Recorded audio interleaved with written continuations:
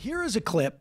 Trump Friday at the CDC. He is on one side of him is um, uh, Adam Azar. Is it? Uh, he is the Health and Human Services um, uh, head.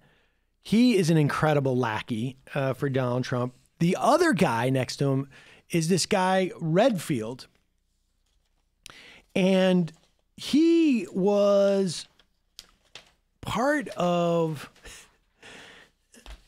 in addition to like him like wanting like an enormous salary uh, when he came in, it was Alex Azar. Sorry, uh, when he wanted to come in, um, this guy's history of working in health.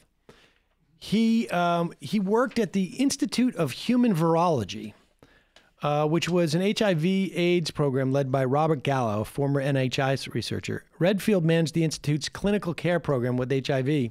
His early engagement with the AIDS epidemic in the U.S. in the 80s and 90s was controversial to say the least. This is from a um, CNN piece. Uh, as an Army major at Walter Reed Medical Institute, he designed policies for controlling the disease within the U.S. military that involved placing infected personnel in quarantine and investigating their past to identify and track possible sexual partners.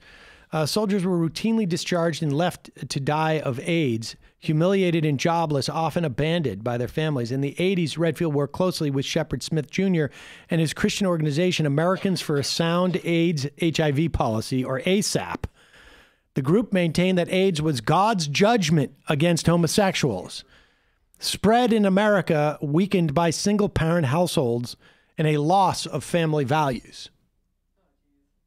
He wrote the introduction to a 1990 book, Christians in the Age of AIDS, co written by Smith, in which he denounced distribution of sterile needles to drug users and condoms to sexually active adults and described anti discrimination programs as the efforts of false prophets.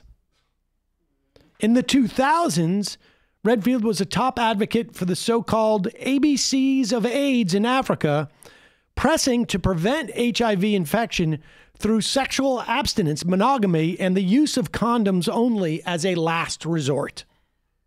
He's perfect. Perfect. Um, this is a Pence hire.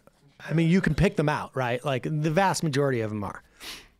And um, listen to this guy talk about yes men. Doctor, do you want to make a little uh, statement? What's your name again, sir? Uh, Dr. Steve Monroe. Well, I think I, first I want to thank you for your decisive leadership. Pause it. This is this is Redfield's. Um, you know, Trump accuse him, Doctor. I think you have an announcement to make. Go and here it is. Well, I think I, first I want to thank you for your decisive leadership in helping us, you know, put public health first. I also want to thank you for coming here today and, and sort of encouraging and bringing energy to the men and women that you see that work every day to try to keep America safe. So I think that's the most important thing I want to say. Yeah, I appreciate it. And uh, the whole situation is, uh, the testing has been amazing, actually, what they've been able to produce in such a short period of time. You had mentioned 4 million tests. Yeah. You'd mentioned 4 million tests as just a number that you threw out there that has no bearing to what how many tests we produced or we're going to be able to produce. Can you imagine this? Head of the CDC, do you want you have something to say uh, to the fo- to the press here? You're head of the CDC.